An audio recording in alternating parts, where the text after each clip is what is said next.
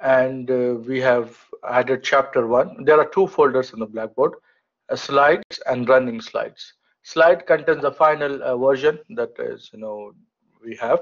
In the running slides, uh, we will uh, we are planning to post the existing, you know, slides. And while that proceeds, if we find any issues, anything, you know, unclear, we will, you know, add more details or fix the issues. And then when everything is finalized, those slides will be added to the slides folder. Okay. Now, uh, we created this uh, comment section yesterday, uh, and this is something manual. It is not automatic. So if you registered uh, yesterday late, then most probably uh, you may not be in the comment section. If that is the case, then please text me or email me, and we will add you to the comment section. Okay. All right. So this slide, uh, the, the chapter two is right now available in the comment section and you can download it if you like. All right, so in the last class, we have seen uh, list comprehensions and enumerate. So let us quickly revise what we mean by list comprehension. What we mean by list comprehension. Anybody in the class can help me in, in, in remembering what list comprehension is. What is the purpose of list comprehension?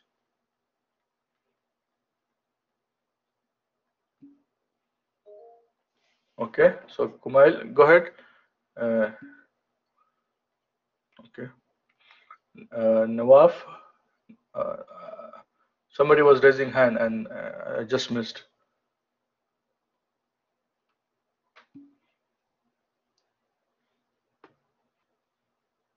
Okay, that's right. Yeah. Okay, so uh, don't raise hands, guys, because I cannot see the who's raising hand. It, it just shows and goes off. Okay. Okay. Yeah. So that was Naif, I believe. Yeah. That's right. So you guys are giving me the answers. That's right. So the purpose is to basically to create list. Okay. And yes, it's a short form and maybe compact way, and you know uh, many things that, you, that you're saying in the chat. Yes, those are all uh, relevant. Uh, and the structure is something like this. Okay, the structure in short is something like this. Uh, here you have the element that you would like to append. Okay, the element that you would like to append. And then uh, there is a loop over which you are appending. Okay, element and loop. Maybe this is very simple way to, to remember the list comprehensions. Of course, uh, in the element, you could use the if statement based on some condition and uh, have different effects. In the loop, also you can add the if statement here afterwards, uh, after the loop to, to modify the, the behavior of the loop, or you can have the nested loops. Okay, so you can have modifications over this side or that side, and in the end, what you get is a new list. Okay, in the end, what you get is a new list. Okay. That is this uh, comprehension. Yes. Uh, didn't uh, record, start record this lecture. Uh, I didn't start recording. Okay, this yes. is good uh, that you reminded me. Uh, yeah. No, no, I, I started recording. It is being recorded. Okay.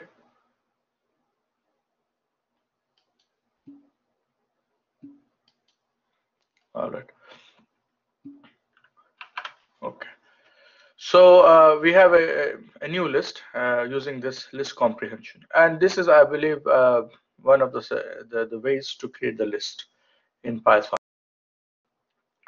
And uh, once we did the list comprehensions, we went to the enumerate.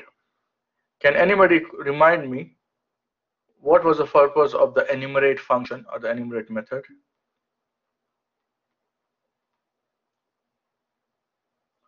That's great, Muhammad. So enumerate, when you use this enumerate of a list, what it gives me, see, uh, in Python, I don't know if, if in ICS 104 they talked about iterators and uh, you know uh, generators. Have you heard about iterators and generators in, in Python uh, 104? In 104 class? Yeah. So uh, maybe it's, uh, but you know, instead of using that language, let me just tell you. So what it enumerate over the list does, it, it does something like this. So you give the list and it starts to throw um, the, the value of the list and the index of that value. So it, it throws such uh, item value uh, pairs, not with the brackets because it is not tuple. So it throws this out and you can use it statement. So whenever in the programming, whenever in the programming you have to know, for example, uh, the index value as well as the actual value of the list element, then you go with the enumerate. This is very, very handy and we will use it a lot in our uh, data science because you will have list, you will have data actually Mm, which could uh, be numbers, integers, or it could be text, or it could be you know any special characters or whatever. You have list of something, and you might want to get the index information while doing some tasks. Then enumerate is the only way. Now you can use enumerate for everything that is iterable. Okay, so here we are just looking at the list for now, uh, but you will be surprised that instead of list you can have anything which is iterable and that's why in Python you have a very important concept called iterable. In uh, typical programming languages like C and those, okay, uh, you have only arrays or list basically that is that you can iterate. But in Python, you have many things that you can iterate. You can iterate over plots. You can iterate over uh, uh, objects. Okay, the, the the general form of iterator is uh, iterable thing is an object. So yeah, you can iterate over many things. Okay, yeah, you can iterate over strings. So Python gives you lots of flexibility. And whatever thing you can iterate or the iterable, you can use the enumerate. And enumerate for whatever thing here that you give, it gives two things out. One is the index of that thing, and the second one is the thing itself. Okay, so that is the purpose of enumerate, and we have seen this in the last class. So let us continue from the here. Uh, Okay, we I believe we covered. Uh, yeah, we covered this, and I think this is where we stopped. We didn't start zip, right? Yeah, I think we didn't start zip. So let us start with the uh, concept of zip. Okay, for that, uh, here I have a list. Okay, this is a nested list, or you can say list inside a list. So if you see here, here I have a list of apple, banana, orange, and then another list of watermelon, plum, grapes, and the list of strawberry, pear, and mango. And all of these lists are part of a bigger list. So first thing I would like to do is I would like to get a new list containing all the fruits. So can anybody help me in on obtaining that?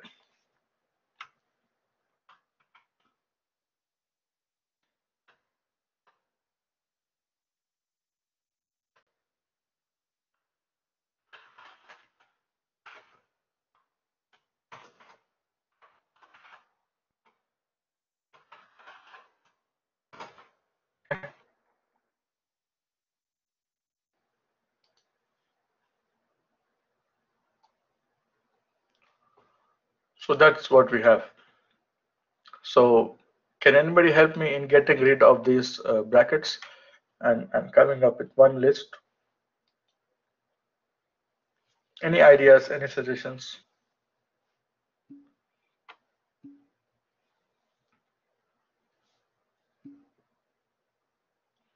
Okay, Nav, that's okay. Yeah, Kumail, that, that, that's the idea, yes using nested loops.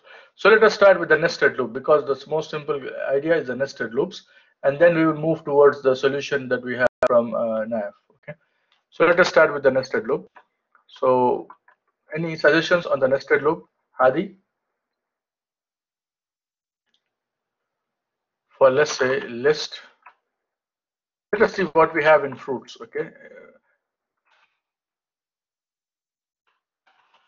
And whenever you are unsure, uh, of course here you are not unsure, but let us say in general, whenever you're unsure, uh, one of the easy ways just to unpack and see.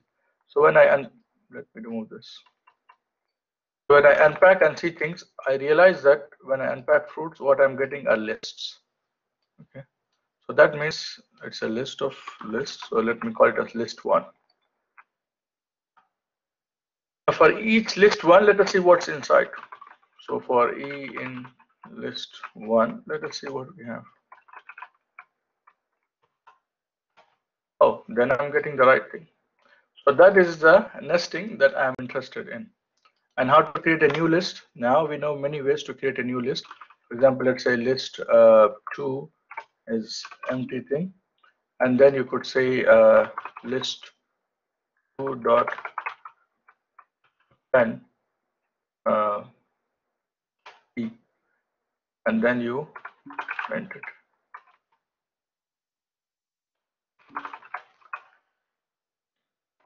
Yes. Yeah. Now that's the append style. But now let us remove the append style to our uh, list comprehension style.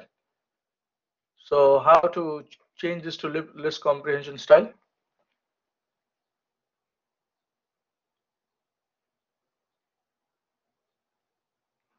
Can you hear me?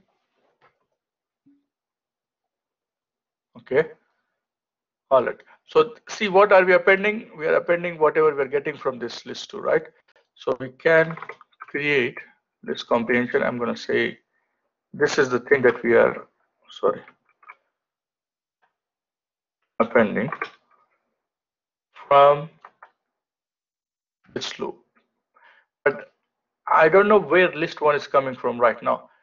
Looking at this, I know it is coming from this one. So that together, okay. So now I know fruits. From fruits, you get the list. Okay.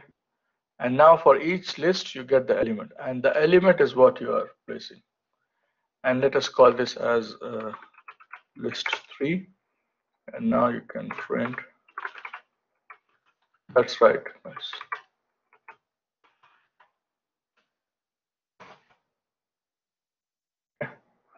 And this will give you the the same result. Okay. Yes.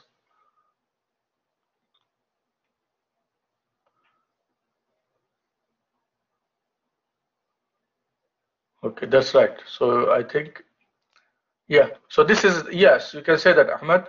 Uh, this is like a nested um, uh, list comprehension. And in fact, if you know about generators and those things, uh, um, which is very useful topic, you could have just created here something like this for E in, let's say, generator of, uh, example, uh, fruits, and you'll get it. Okay. Now, again, I don't want you to guys to uh, get confused, but generators is something very nice uh, thing and uh, how it is done maybe I'll show you quickly. And uh,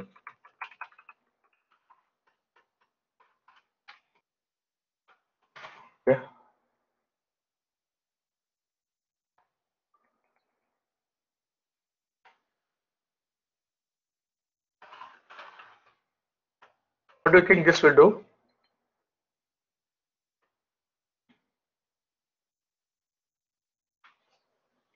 Hmm?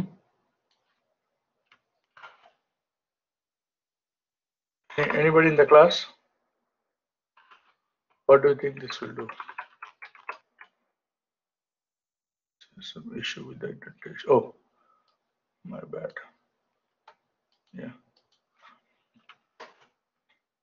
So it returns the first element, apple. Not each element, just the first element, right? Because the moment you have the return, it gets out of the function, isn't it? You know this, right? This is a function, right? And the return thing will take you out of the function. But if you take, if you, after the first value, if you go out of the function, then it is useless, right? Because we wanted to go over all the values. So how to overcome that? Well, that's where Python gives you very powerful technique called generators. Okay, sorry. So now instead of return, you say yield. So you send the value, do whatever you need, and then come back again and get the next value. Come back again and get the next value. And using that, you can have something like this. Very neat. But again, it requires you to know uh, generators, and we don't have to know that for our course. Uh, but you see, it makes things much, much uh, neat and elegant. Okay. and actually they are very fast uh, and uh, space saving in the sense that you will have uh, less memory use in these things okay? And now you can have very complicated uh, things going on inside this and you can create any list by list comprehension and a compl complex way of uh, the loop okay? Uh, what does it do again, doctor? The generation? Or uh, generator? generator is is just in in rough way remember the generator is like a function but it it doesn't just you know send the values in one single shot it sends the value and then you come back here it sends the value. You come back here it sends the value. You come back here sends the value. So it is like something that is generating the values one after the other until you fi finish with all the values. Okay? So that's I, I, I know if it is confusing just don't worry because we don't need it. But i just thought that it might be you know something that that, that would, might be helpful for you guys. Okay? Any other question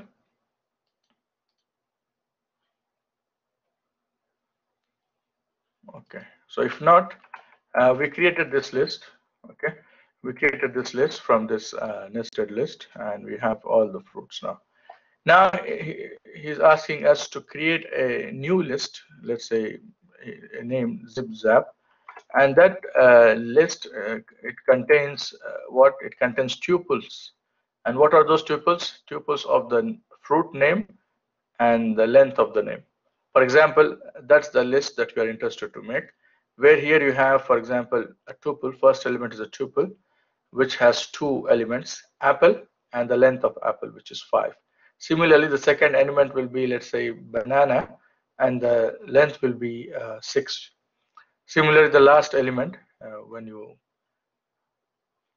have this list, uh, you will see that why watermelon. Maybe I, I, I just copied from the previous uh, example. But whatever is the last uh, element, let us say it's watermelon, then the length of the string here, which is what 10, it will be should be here. Okay. So for that, uh, we need to first create a list. And once you have two lists, you can join them um, for various purposes uh, using various techniques.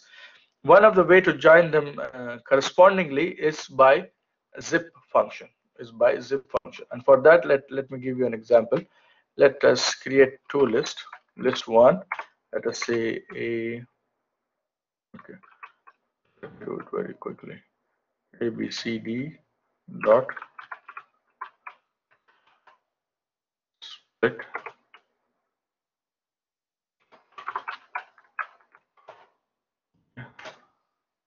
don't worry about split. We'll, we'll see actually in, in our class, but I just wanted to have something quick here. And then let us say uh, list two is uh, one, four, two, three. Okay. Now let us say I want to join them correspondingly. So A with one, B with two, C, sorry, B with four, C with two, D with three. Then you could say zip of list one. So A is going to come first, then list two. Okay. And if you want to print it, uh, you have to create a list out of it. And you can see this is what it gives you. A with one, B4, C2, D3. So that's one practical way uh, to combine two lists. This is very helpful for you know when you have a for loop and you would like to search over two lists simultaneously or get the values from two lists simultaneously, you can do it. Yeah. Zip returns an object. That's right. It's a generator object. Nowadays in Python, everything uh, is generator for even your range. I'm not sure, but if you if you see this range, what will it give you? it will give you an object okay it is not a list no it doesn't give you a list see here let me hide it it gives you a range object if you want to get those numbers then you have to get the list out of it okay? Ra- range is a generator okay? The one that we showed just. So now it gives it okay? Not cast but yeah you can say cast or convert it to list okay? Similarly here for zip it gives you zip object okay? It's a generator. So now if you get the list of it uh, and then you get this list. Okay Now let's go back to the Majid's question. What will what will happen if two lists don't have the same length? If they don't have the same length, the default approach is you pick the shortest one and you ignore the other. For example, let me just have one, four. Then you see only the one and four are taken care. The extra things are ignored. Okay, that's the default. Uh, uh, you can say uh, thing for zip. That nav has a yes nav yes you can do that. But all of that what you have uh, okay. The, this one uh, no. I think the for loop has an issue. The for loop has an issue there uh, because the for loop is not nested. So there are two for loops together. I think this will be a problem. Let us try. Let us try and see quickly if it works or not uh, let us call it as uh, i comma j for i in list 1 for j in list 2 and just to make it you know error free and let us do print of this.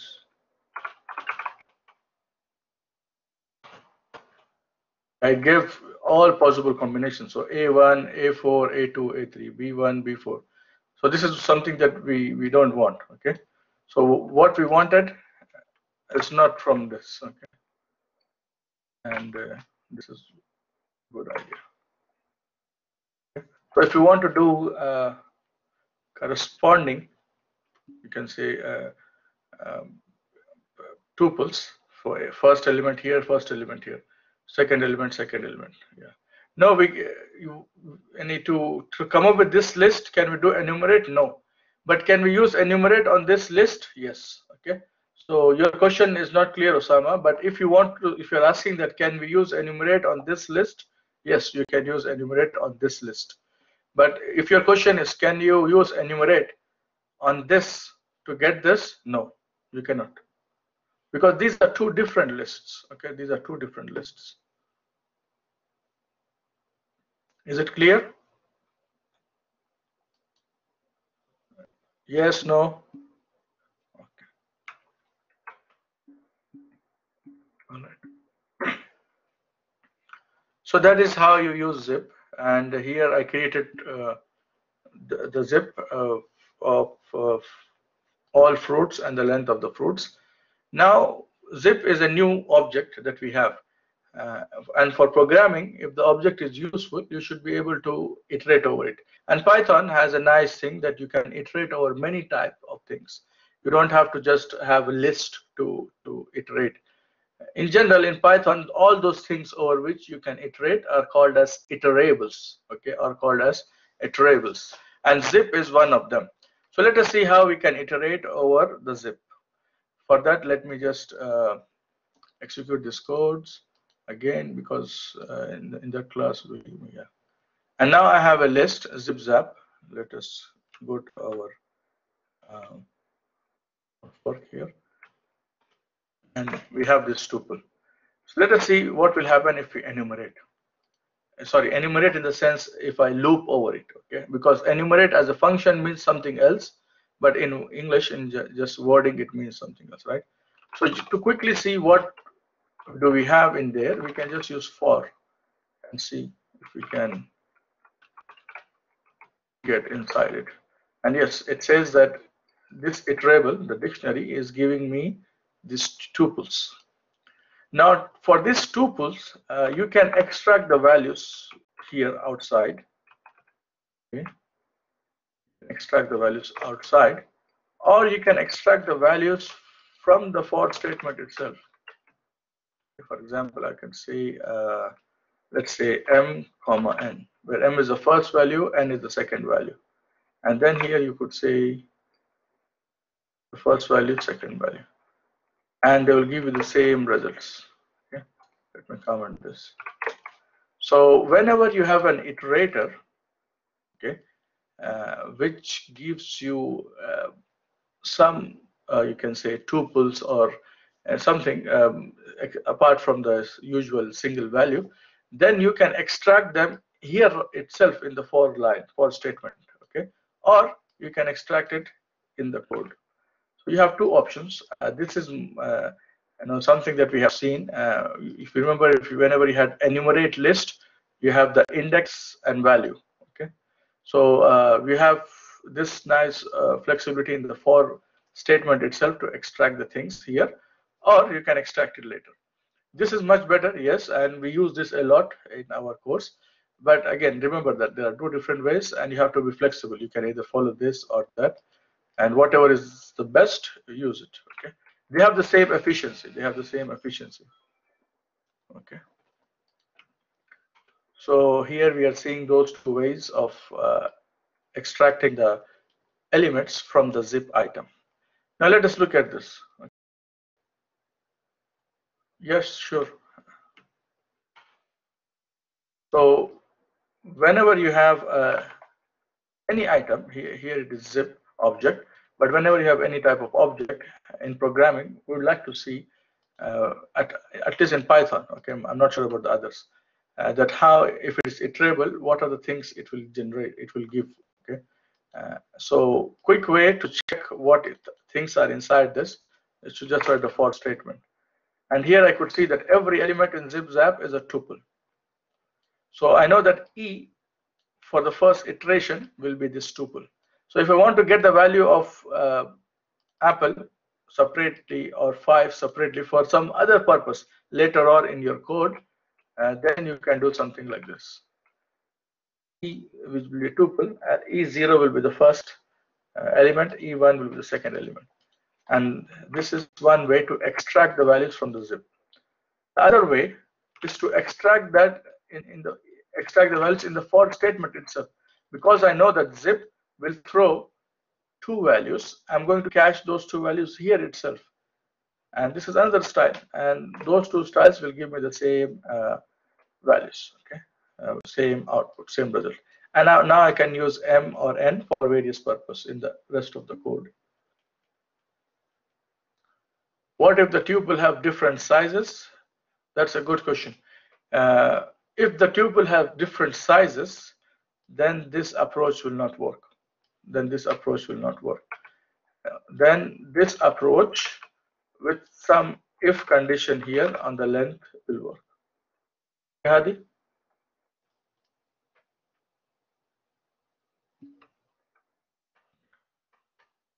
Remember here, the discussion is with zip. Very rarely you will have the, the, the, scenario that you mentioned where the tuples have different lengths. Usually the tuples that we get is by zip method. And those zip method will have the same size. Okay. Uh, right. What yes. about if we have uh, inside the tuple itself, there's like three elements. Will this work if we? Yeah, yeah. yeah it will work uh, if you have three or even more.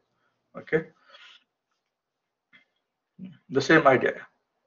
So it's you know can have M N K maybe you know, three index here or E0, E1, E2. Yeah, it will work. All right. Now we move to the next uh, question.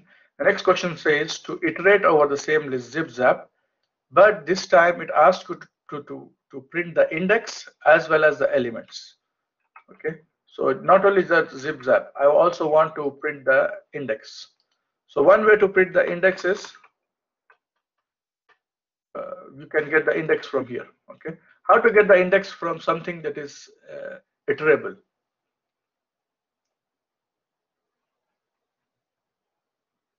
How to get the index from something that is iterable? In the for statement, if I want to get index, uh, how to get it?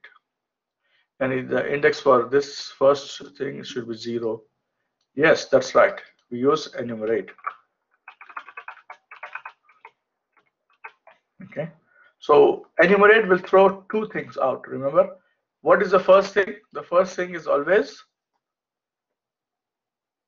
the first thing is always index. Okay. The first thing is always index. The second thing is whatever is inside. And you can see actually, let us print all the three and you can see let me use E as is first so so the first is the index and the second is the tuple. Again, the same story. If you want to extract it here, this is how you extract, and you get all the three. This is the value of index, which is i. That's the first element of the tuple. That's the second element. If you want to flip them, you can flip them, and you can do, you know, depending on the requirement, you can do many things. Now, now we go to the interesting part, which NIF is trying to ask. Yes. So now how to extract in this case. Now, you can use IMN if they are at the same level. But remember, I is the index, whereas MN, they are inside tuple. Okay, so this is how you can use it. They are inside tuple. So now I can extract the values. So I'm saying that enumerate throws two things out. The first one is index. The second one is whatever is the value. The value itself is a tuple and tuple of two uh, elements. And first one is m, second one is n. And now you see you get what you want. Okay. So if I write it without this, it is not going to work.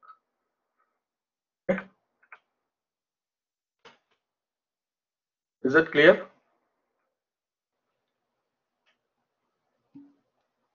Okay. So now we have another powerful uh, you know tool, Zip, uh, that is very useful in, in, in data science. And uh, we know now how to zip two lists and you know how to iterate over those. Okay. Now we move to another important uh, functionality from Python, dictionary. Okay. Uh, you must have seen dictionary in ICS 104. Yes or no? Yes. Now let us uh, quickly revise and, and see where we need uh, dictionaries and also why we need dictionaries. Okay. And let me give you the first answer why uh, we need dictionaries. Uh, so let us say you have two lists. Okay, list one has these Ahmad age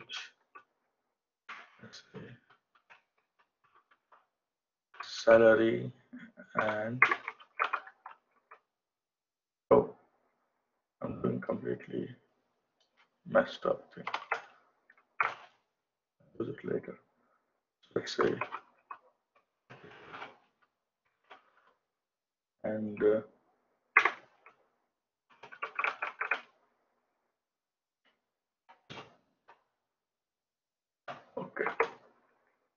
so that's list one and if you print it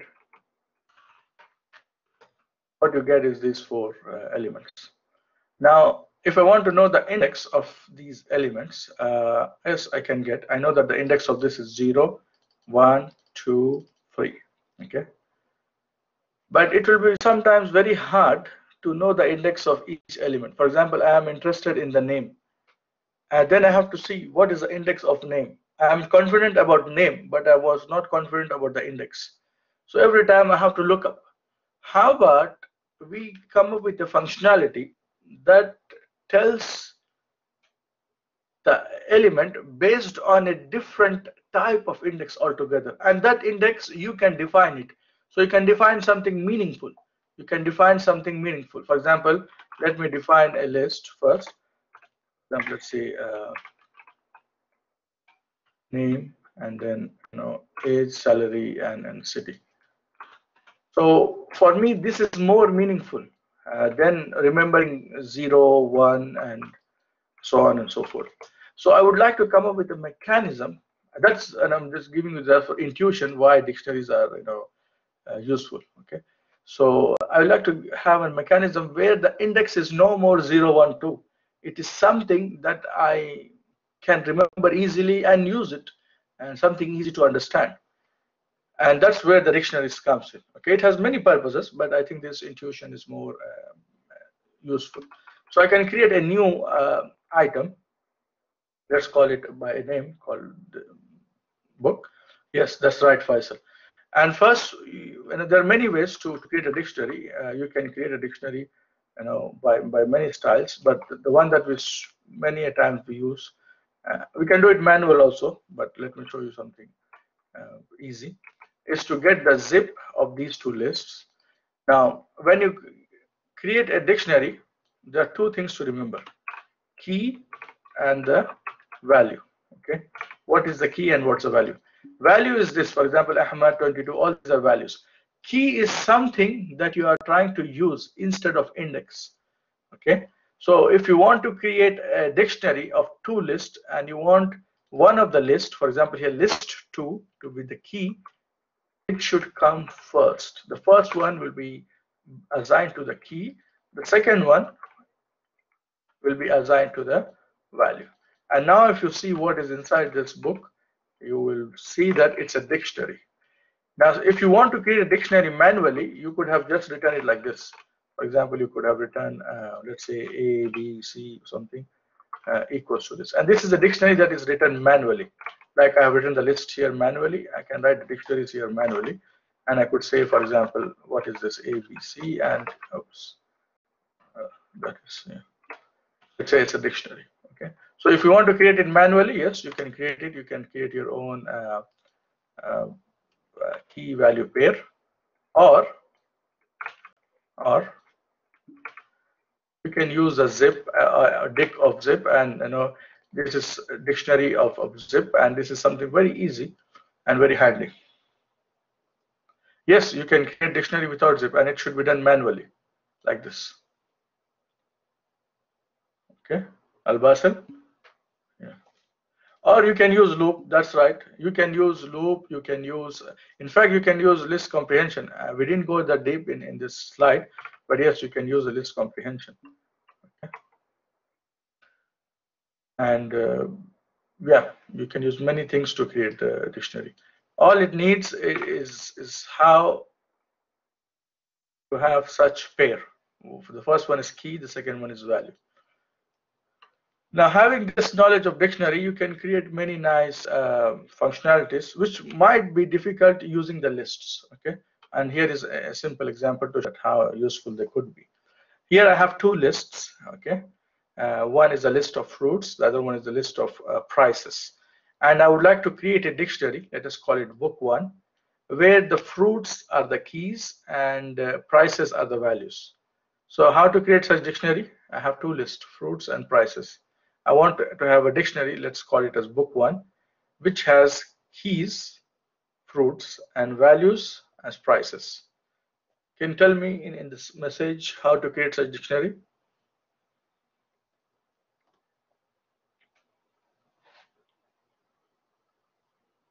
Guys, can you hear me? Uh, yes. Guys in the class? How do Yeah. we make uh, this dictionary? You mean the first Yeah, how to the make a dictionary? Yes. Like we did uh, earlier, dictionary, then zip, then put the two lists, Yes. right? Okay, yeah, that's right. And I got the answers, two answers, which both of them are right answers. Yes, good. Okay. Now let's let's look at the second question now. Loop over all the key and value pairs of this dictionary. Okay. So now you have this uh, dictionary. Here it is, book one. Okay. And now we need to know how to loop over book one. So book one a dictionary. We'd like to see how to loop, okay? Okay, Hussein has some comment I just saw. Can I use set? No, no, set is something else, okay? Set is something else, Hussein. Uh, we cannot use instead of dictionary set.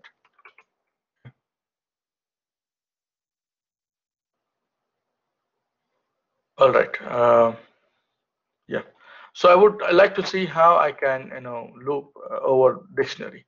So again, uh, when nothing is clear, we just, of course it is clear, but I'm just saying, you know, uh, we just uh, do this check and see what you are getting. Okay, I'm getting only the keys. So how to get everything from here? Well, you can say items, and now you get the tuples. So now it is something familiar, and you know that you know dictionaries now with dot items behave exactly like your uh, zip uh, list, okay, zip list. So how to iterate over them? And for example, I want to print, let's say, all the items. You can say, for example, k comma. That's good. en or it's better to use kv where k is always the key and v the, the next one will be the values and now you get all the key value pairs so for key value pairs in the dictionary dot items you iterate it okay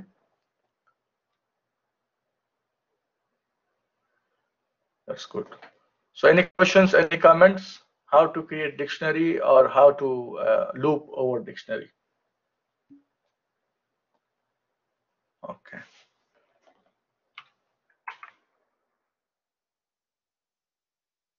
Okay so here is uh, you know i did the same thing. The only difference is i just added some text using the for format or the f string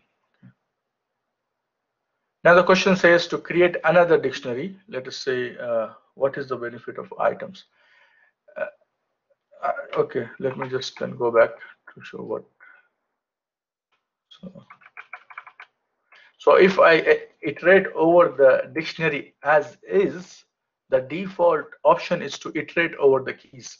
So it will just give you all the keys. Okay these are all the keys of the dictionary but if you want to get both the keys and items then you have the then you have many actually ways to do it. One of the way is to use dot items uh, attribute of the dictionary. And so this will give us what?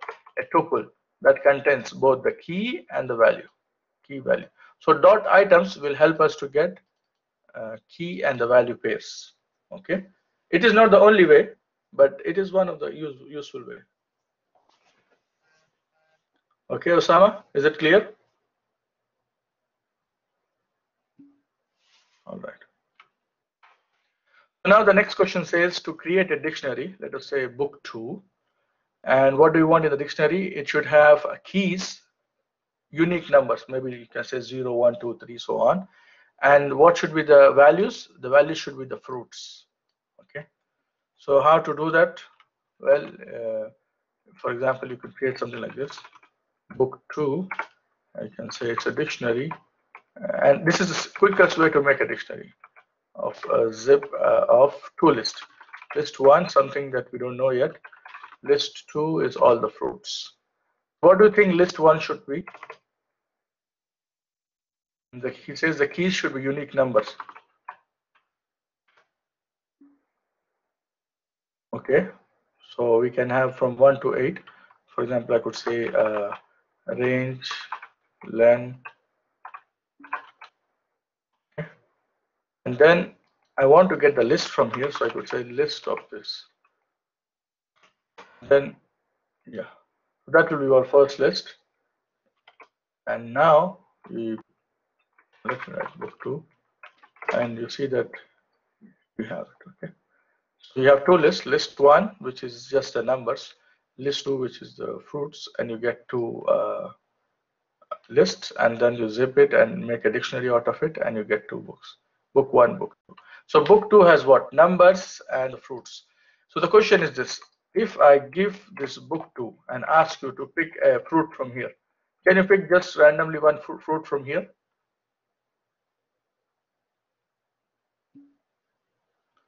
let's say plum. So the number corresponding to that is what? Pick a number. So you are picking four. So if somebody gives me four, can I tell what is the price of the plum? Let's say you selected four. Can you tell me how to use book one? Let me show what is inside book one. This is what is inside book one. For example, if somebody selected four, then four corresponds to plum. And the value of uh, the price for the plum is 28 so can we get 28 by asking input as 4? How to do that? That's right, Hadi. So book 2 of book 2 of 4 gives me what? Let me show you the book 2 first. So book two is this. What do you think you will get by, by saying book two of four?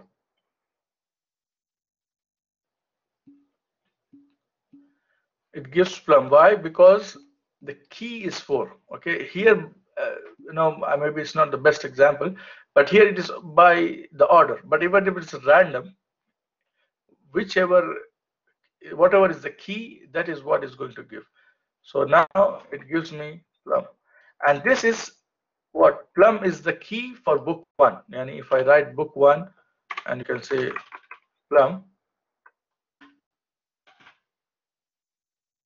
Then you see you get 28 to connect these two you can have a nested not nested you know connected them like connect them like this. And now you get you input 4 which corresponds to the key for the fruit and what you get is the price. Okay. And using this idea okay using this idea you can create something that I did here. Uh, it's something sim simple. And this part of the code is just for decoration so you don't have to you know, worry about it. Just uh, you know have a look and you know it should be clear just for decoration. So the idea is this. Use show book one to the user and ask him to pick uh, a number from here. For example let us say this time i pick number let's say three okay? So when i pick the number three it does all those that we just discussed and it will say you you picked watermelon and the price of watermelon is 13 and this to create this you know small not really you know it's something you know simple uh, graphics uh, we had to use this code but the main uh, idea is here you get the input and uh,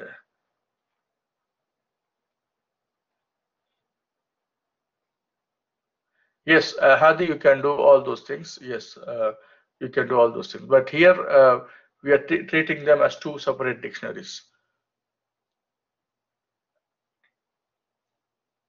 Okay, so the idea is, is captured here. Uh, from the user, you get the item number that is selected. And from the item uh, number and using the book two, you get the fruit that is selected. And using the fruit selected, you get the price or in single shot like we discussed you can do it in this single shot like this uh, book one of book two of item selected will give me the price selected so you have two styles uh, i would prefer this style uh, but uh, we left it like this so that it will be easy for you know for understanding. Okay. And using this idea uh, if you are familiar with uh, Tkinter or any you know gui you can create your own menu list and you know you can come up with your own apps actually. Okay. Any question any comments about uh, dictionaries all right. If not you have to remember a couple of things about dictionaries. Uh, the first and the most important one is you your the keys should be unique. You cannot have duplicate keys. You cannot have multiple keys with the same uh, value uh, with the same sorry uh, name okay? So you should have different uh, keys in, in, in a given dictionary. Okay now the keys can be of any type. So here we had two dictionaries in one of the dictionary the keys are strings. In another dictionary the keys are letters uh, sorry uh, integers. And you could have a dictionary where the keys could be tuple and it could be anything. You could have anything any object as key. The only restriction is that it should be immutable. So what are immutable and mutables? In python you have two types of objects immutable are the ones that once you define will never change mutable are the ones that will change for example your list is mutable you can always change the list uh, for let me give an example here for example you could have let's say list uh, equals 1, 4, 5. I could use different functions and change. For example, I could make it 2, or I could add here 7. I could change numbers, or I could add numbers, and so on and so forth. Whereas you have tuples, okay, once you define tuple 1, 4, 5, there is no way you can change it. By the way, tuple should be you know, different. Okay. So once you define tuple, uh, there is no way you can change it or uh, add anything here it is fixed so these are uh, immutable whereas a list they are mutable okay so you cannot have a key which is mutable but you can have a key which is immutable. So all the strings, strings are uh, immutable. Uh, you can have integer scalars. Uh, they are uh, even the floats, anything, uh, numbers, but not in, in, in, array form, just a scalar number. It, they are all uh, immutable. Tuples are immutable, and many other things are immutable. But this is enough for us. Okay. All right. Now we move to the next topic. This is about strings, how we can process the strings, different functions or methods for strings. Uh, out of the box, uh, the moment you have Python downloaded for you, you have some nice inbuilt functions for strings that can help you to do lots of text processing. Uh, for data science course, we need some key string methods like you know split, join, replace, uh, and you know yeah, these are good enough number of uh, methods. So we are going to look at those methods through this example. Let us say we have some text. For example, here we have this text given to us. And we realize that the text uh, needs some processing. And we don't want to do it manually. We want to use a code to do it. What is the main issue here? The issue is this. The sentences, this they don't start with capital letters. All of the sentences, they start with small letter. So this is something that I need to fix. The other thing that I realized is uh, I need to have, let's say, this word in all caps because it's acronym for industrial systems. It should be in all caps. And maybe you can find many other issues and you can fix it programmatically. But at least these two issues let us fix. So how do you plan to fix those issues? Well, we come up with this plan. The first thing is to break down this text into sentences, actually list of sentences. Then for each sentence, you capitalize the first word. And let us say if the sentence also contains ISE, then you capitalize it. Uh, okay. And then finally, you join all the sentences and you can print those sentences to, to see the new string, okay, new text. Now,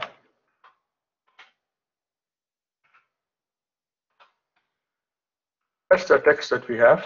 Let us print it.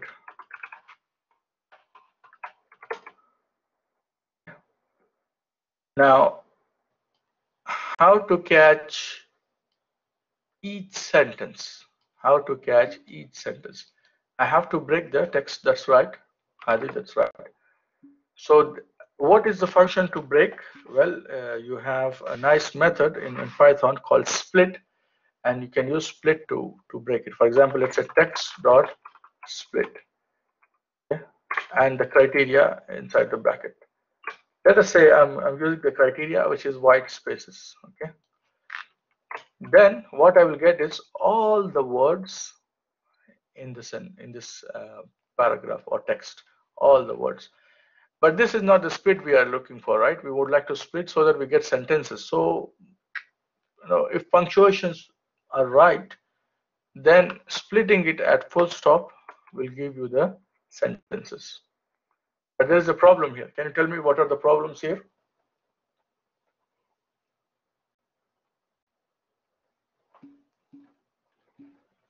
Okay, extra element, that's right, and backslash and two issues. Yes, both issues are good. So uh, let us fix them.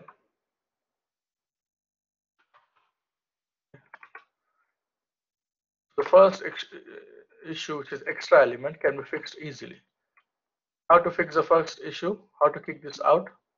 Yeah, you can use pop or remove because I know that it is the last element I know the index, so I can use pop. What's the index of the last element? How to catch? One, two, three. You count it like this? No, you just write minus one. That's good. Very good. Okay. Of course, you can count it, but we want those things, right? Uh, and now let me print the sentences, and you see that things that first issue disappeared. What about the second issue, the backslash n? How to get rid of backslash n?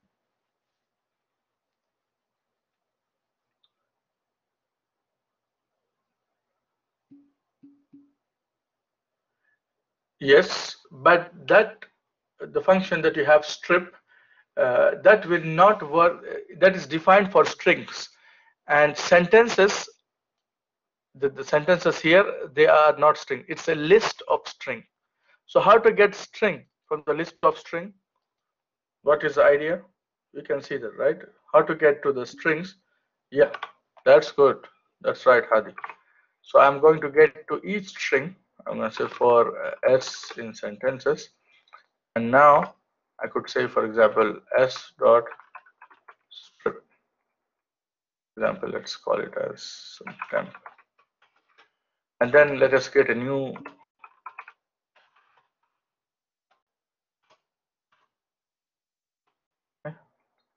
and now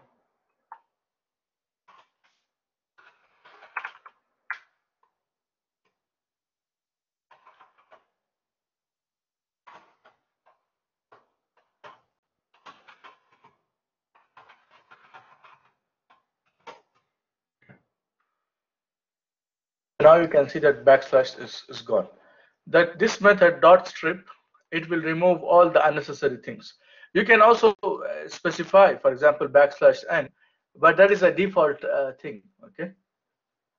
Yeah. Or you can use R strip, which is also fine, but strip will also work. R strip, I think, stands for raw uh, to that. So you, you remove all the raw elements like uh, backslash n, backslash t, and those things or even a strip will work okay? Yes so what things do you think you need? We, we kept see the only thing that we removed is that backslash n okay? The only thing that we removed is backslash n. Yeah everything else is here. Again if you, if you want to make sure that it doesn't remove anything else which there's nothing you use this okay? You specify that yeah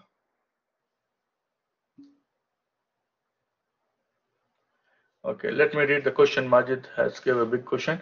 Can I get rid of every second index of every sentence? Beginning of the second sentence. Okay, this question actually is a bit confusing to me. Uh, can you, you know, put it in a different uh, format for me to understand? Majid? Um, yeah, go ahead.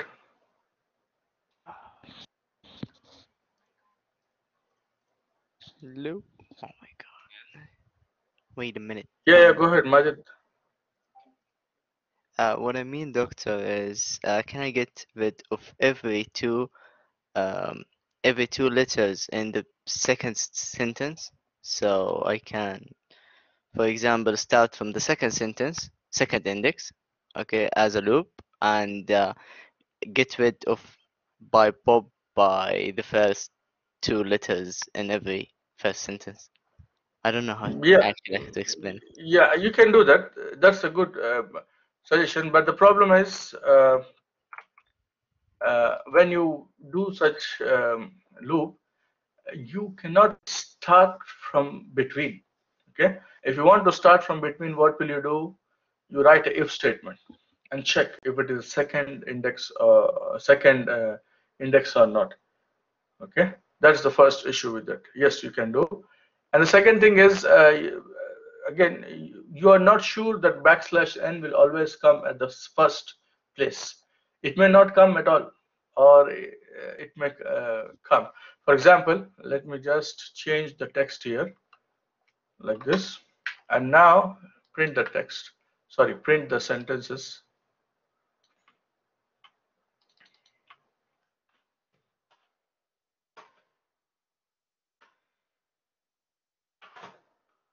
you see here, it's not the first, not the second.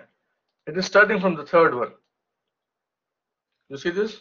Oh, yeah, yeah, I can see it now. So that could be an issue because you might remove something from here which was not meant to be. So that is why uh, that idea may not be that practical. And uh, but, but otherwise it's interesting. If you know from the beginning that every uh, first is is, a, is element should be removed, yes, you can uh, do it just by slicing okay oh. and uh, the, the, the second thing to remember is you cannot start from between. Uh, this is one, one of the things to remember uh, in any language, not only here, that if you are given with something to iterate, to iterate from a specific point is different, but to iterate from the beginning to end is, is the easy one. Okay. Oh, okay. All Thank right. you. Okay. So let us come comment this. Why didn't you split by space? If I split by space, I will get words. Uh, and uh, remember, what was our main goal or the main task? That I want in the end this W to be capital, this I to be capital, this A to be capital. So I don't want all the letters. Okay. Yeah, I'm interested in sentence. That's right, Faisal. Okay. So uh, by this statement, what I got is um, those statements. Now, how to capitalize the first element. I could use upper. Let me show you two things. If I use upper, everything will be in upper case fonts. But I don't want to use upper. So you have upper, you have lower, and you have capitalize. Okay. And the capitalized one is the one that just makes the first. Uh, I think uh, I did some mistake.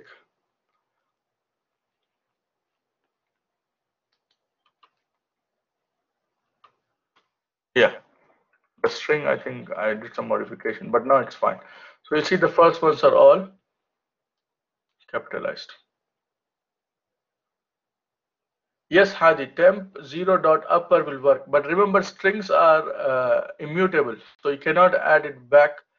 Adding back will be slightly not straightforward. Or let us see, maybe it is, maybe it is. Yes, let us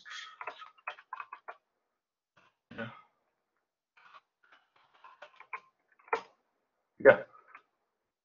Oh. No.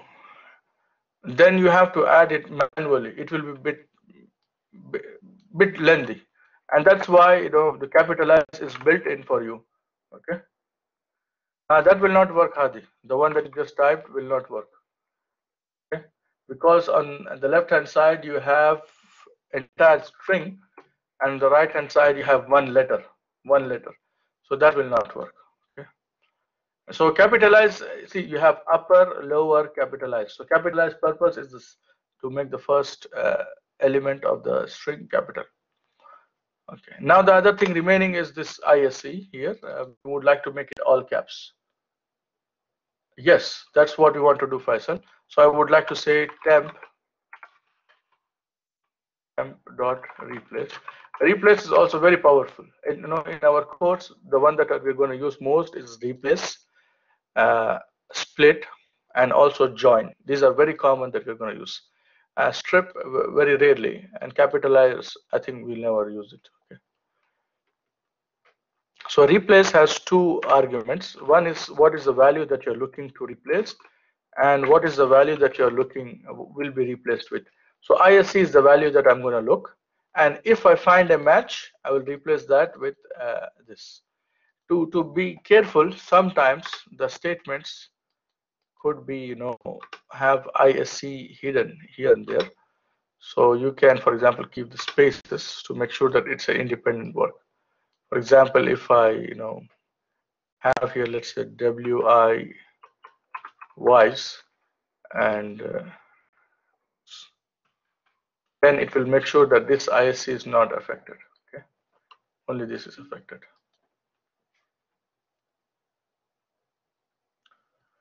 Uh, I think replace doesn't do that number of arguments. Actually, we can check. Let me just show. So you know how to get the help in, in, in Python? If I want to know more about the function, do you know how to get that? Oh, this is bad. In Python, you can get the helper for any function. For example, I could say string dot replace, and it gives me uh, replace of string object needs argument. Okay, so I don't need to have this. Okay, it says replace self old new count. Let's see. Yeah, uh, you are right, Mubarak. There is such option. You can do maximum number of occurrences to replace. Okay, count works. So this is a quick check. Okay, there are so many functions, and uh, we we hardly remember few of them. Uh, and for each function, you will have so many options. So here is the thing uh, to answer your question. Okay, so yes, you can have an argument, uh, which is a keyword argument, by the way. So the count is a keyword, and then the number of times to replace. Okay, Mubarak, did I answer your question now?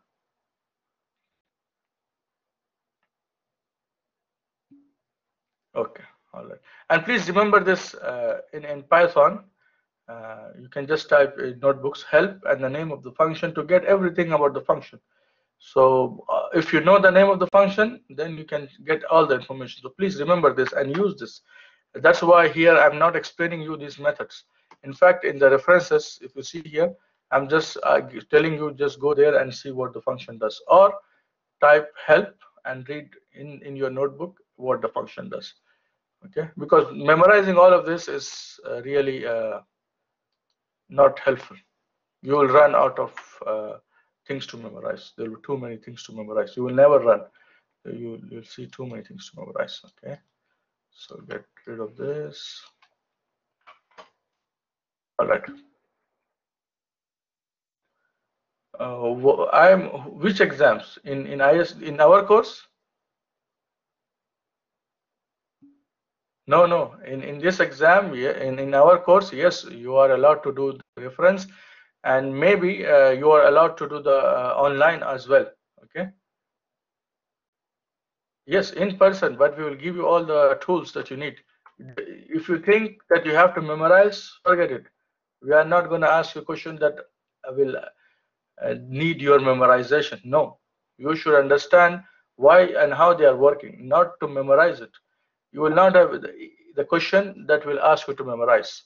We will give you the, the exam in a way that the memor memorization is not needed. Please remember that. Last time we had online exams, we allowed the students to even refer uh, online uh, libraries. Okay, so you could go to Google or these libraries and you can refer the function apart from that uh, you can you know in in your notebooks you could just type help and get it. So yes uh, memorization is not needed in this course but understanding is important and that's what is needed. Okay? Uh, please uh, check the code or after the class uh, send the code. Okay? Make sure that you are catching the string not the list. If you catch the list it will not work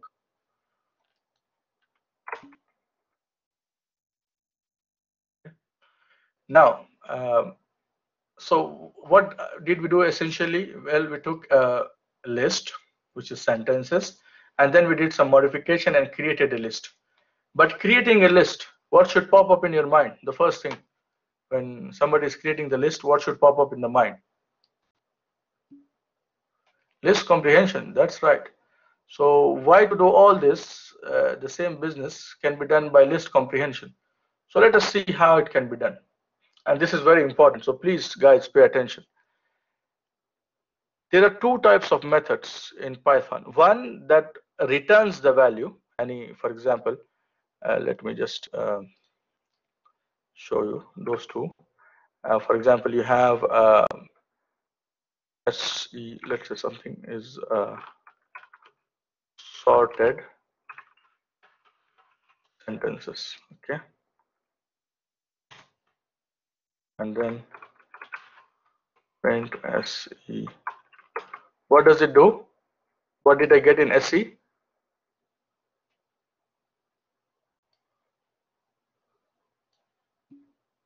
a list but what's the difference between se and sentences?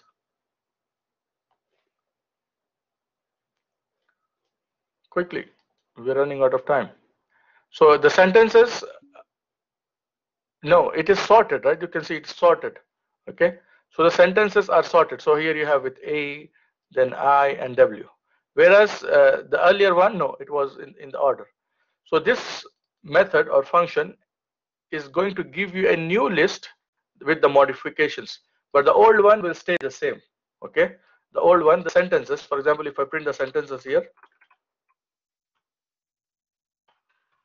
it will remain the same. it will remain the same okay same order. Then there are other type of methods that operate on the follower itself. For example you can say dot sort. And now you see the sentences itself has changed. Such methods you can have a chain of those methods. And this is something that we use a lot uh, in, in our data science course and maybe in other courses also. What I mean is, for example, you have dot replace. I could add it like this in one single shot. So in one single shot, I could say like this. So it, it's going to do all these things one by one in this one line. So first it's going to get the string uh, from the sentences from the list. And then it's going to get rid of backslash n. And then it's going to capitalize. And then it's going to replace this. And then you have the sentences. Okay. So you see all those four lines are combined into one single line. So whenever you see such dot, dot, dot, dot, in your mind, you either can think of separating them or you can actually separate if you want. But I don't recommend to actually separate. It's better that you separate in your mind and see, visualize how it works. Okay. Yeah, and the last statement, yes, we'll come back to that. Okay. So now using all of this, uh, you, you have those sentences in the right format. The last thing we would like to do is we would like to join. And to join the list, uh, the, the elements of the list, we have this function called dot join. Okay. And for that, let me give you an example. Yeah, if you have errors, please, uh, after the class, I will explain you. Okay. So let's say A, B, C, D. Split and just to be very fast.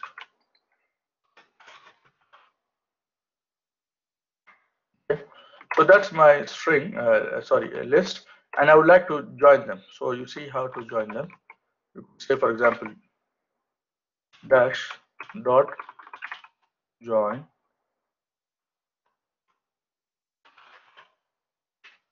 okay So that's the thing that you would like to place in between. Okay. So you see this hyphen or dash or minus will be in between. If you want to put something, it will be there. If you want to say uh, any anything, okay. This is like a placeholder. If you want to have some space, it will be space or no space, no space. Okay. So dot join is exactly opposite of split, and uh, that is what we are going to use here to join those sentences. But we are not going to join it like that. We're going to say every sentence will have this backslash n or you know enter uh, type of uh, prompt there. Okay. So here we do that. We add backslash n and join all the sentences. And what we get is this new text. This text is exactly what we are looking for from this text. So the W, uh, I and A are capitalized and ISE is capitalized. Okay. So it shows you just that simple uh, functions from Python can help you automate the formatting and uh, tasks related for data science. And we're going to use some of these uh, to handle the data that contains strings. Okay. All right, guys. So we took two extra minutes, but I think uh, uh we were in the in between, so it should be okay. And uh, that's it. We are going to stop here, uh, and we'll continue from in the next class the NumPy library. So if you have any comments, any questions, uh, please let me know uh, now or even after the class, you can message on MS Teams. Otherwise, we'll stop. Okay. Okay, guys. See you in the next class. Have a good day.